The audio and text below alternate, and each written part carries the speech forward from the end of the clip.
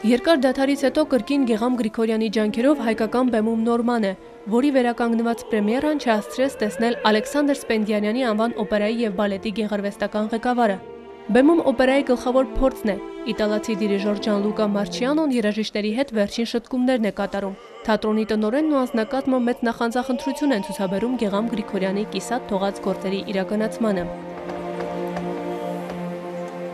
Մենք որոշում ենք կայացրել թատրոնում, որ այս տարվա մեր բոլոր պրեմիերաները պետք է նվիրվեն իհարկե Գեգամ Գրիգորյանի, որովհետև ելեմ դա ճշտում դա իրեն մտախաղություններ, իրեն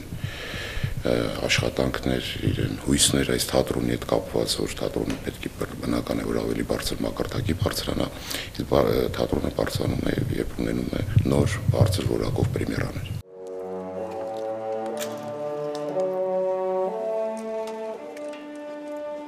Վինչենցո Բելինիի ամենահայտնի գործը աշխարհի հեղինակավոր օպերաների հիմնական խաղացանկում է։ Օպերային արվեստի ամենահայտնի դեմքերից շատերն են իրենց ուղին հարթել ինքնահաստատվել նորմայի դերերքը կատարելով։ 1970 թվականին Միլանի Լա Սկալա օպերային թատրոնի բեմում այս դերերքով առաջին անգամ փայլեց Մոնսերատ Կաբալիեն եւ համարվեց Մարիա Կալասի արժանի հետևորդը։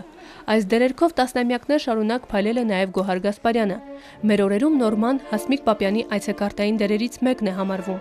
2001 թվականի պրեմիերային Նորմայի դերերքով օպերային թատրոնի բեմում Գեգամ Գրիգորյանի զուգընկերը սոպրանո Մարինե Դեյնյանն էր։ Այսօր վերականգնված ներկայացման գլխավոր դերակատարներից մեկը նա է լինելու։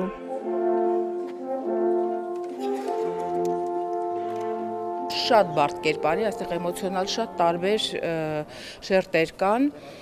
Ձայնային առումով իրոք սա համարվում է բարթագույն օպերաներից մեկը, եթե ոչ ամենաբարթագույնը, այստեղ կա 3 օկտավա մոտավորապես, ներողություն, 2 օկտավա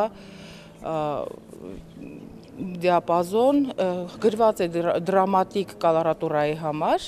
այսինքն կա եւ դրամատիկական ձայն պետք է լինի եւ ունենա կալորատուրային հնարքներ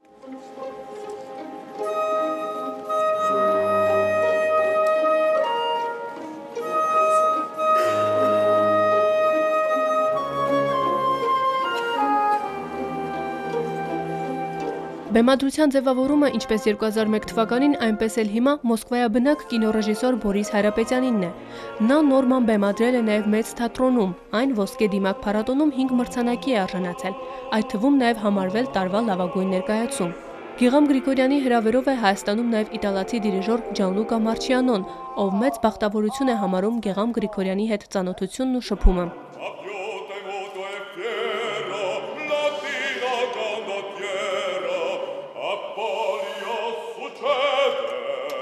Then he gave me even the privilege to conduct him in the last scene of Otello in one concert in December. Նա ինձ հնարավորություն տվեց լինել իր վերջին Օթելո ներկայացման դիրիժորը, որը դեկտեմբերին էր։ Այս փաստը միշտ ես իմ հոգում կպահեմ։ Այդ մեծ վարպետից կարճ ժամանակահատվածում շատ բան սովորեցի։ Նա ոչ միայն օպերային մեծագույն երգիչ էր, այլ նաև փայլուն երաժիշտ, հարուստ գիտելիքներով արտիստ։